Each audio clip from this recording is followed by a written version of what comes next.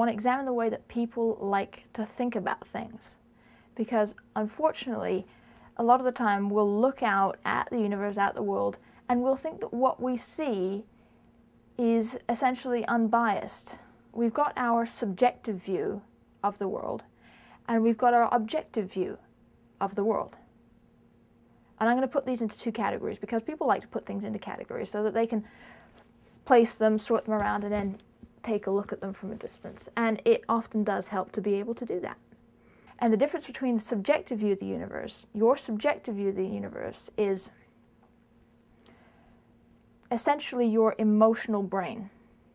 Your objective view of the universe is your logical brain, essentially. Now, the trouble is, we're just starting to develop our logical brain. It's quite recent that we've started to be able to look at things relatively objectively. Animals can't really do that. Our, our subjective, our emotional brain, that's our primitive brain.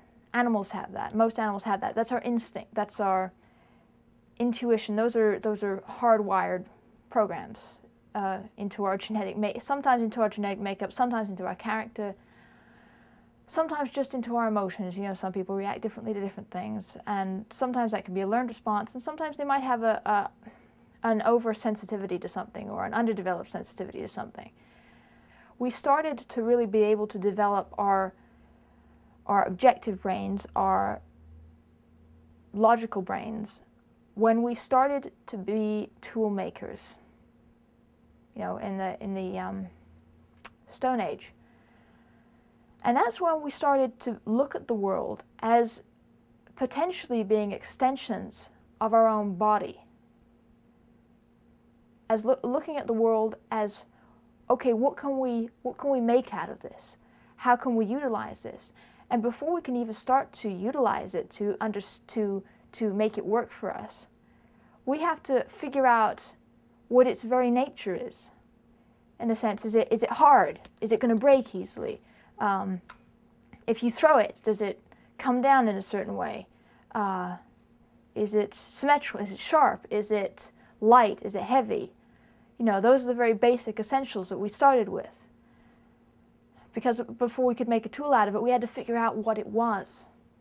And it was a, a great advantage to us to become tool makers because we, we don't have to just stick with the cards we're dealt in a sense. Our, our, our logical brains, this is a very new development, and most people are not very good at using their logical brains. And you know, you can't really blame them on some levels because evolutionarily speaking, it's quite a recent development. There are a few animals that, that are just starting to be tool makers, just starting. Uh, there are some chimps that know how to use basic tools. Um, uh, birds use twigs and feathers. There's lots of animals that know how to use bits and pieces of the world to suit themselves. But when we became toolmakers in a broad sense, the whole world became more applicable to us than it, than it had ever been before. And we wanted to know, we wanted to know how it worked. We wanted to, to, to find out everything about it because the potential in being able to do that, the potential benefit to knowing how the world works is huge. I mean, we we're starting to be able to cure cancer, cure possibly cure death. I mean, we might not die. We might be able to essentially live beyond the, the, the normal bounds of what we would consider life. And I find it all very exciting rather than that rather than scary. Some people do find it scary. I'm I don't think you have cause to find it scary. I think people who are scared of the future are people who don't know how to make it work for them. And it is difficult because our, our, our understanding of how to use our brains, how to, how to make situations, how to make our circumstances, how to make our own brains work for us. There are no standards. There are no classes you can take. There are no legitimate classes you can take that's, that's going to really help you do that. Because you see, what happens is it's, it's practically impossible to make an objective decision on your own. Because it all gets processed through the emotional brain before it can go into the logical brain. Our emotional brain is our more primitive. We're only just starting to develop our logical brain.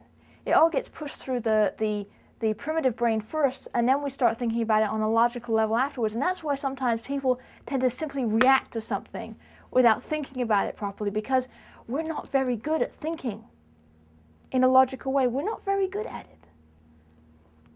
And we need to get good at it.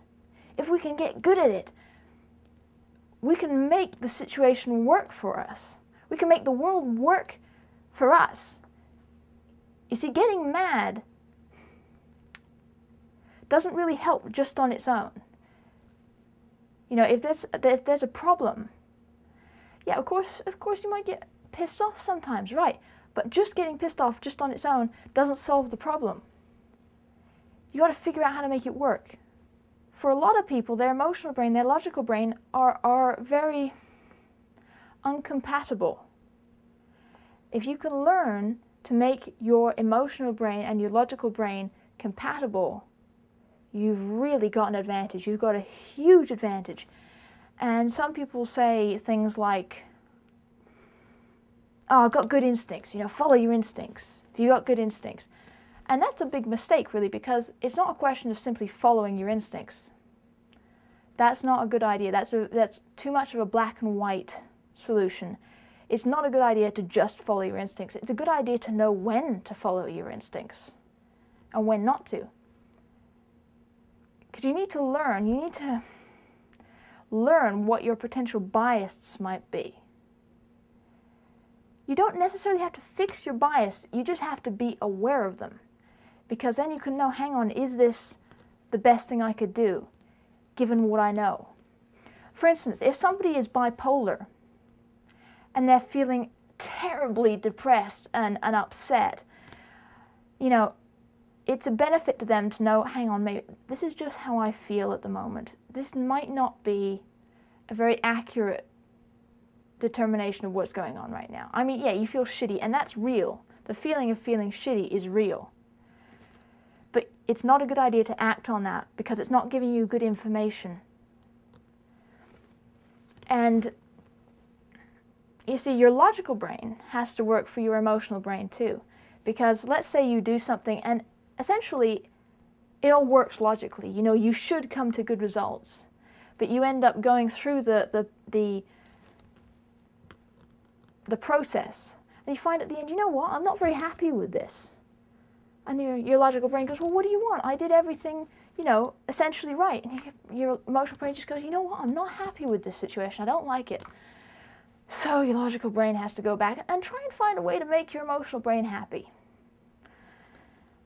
And I, I know it sounds a bit ridiculous me putting these two things into these groups, but this is actually a very good way of looking at the brain to know how it works.